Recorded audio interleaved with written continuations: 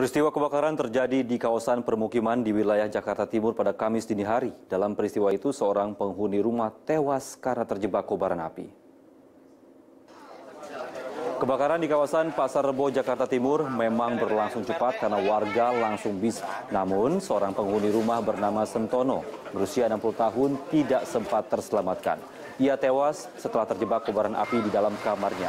Asal api kobaran api di dalam kamarnya. Asal api sendiri dari ledakan tabung gas. Meski demikian, polisi yang menangani tetap mengusut kasus ini.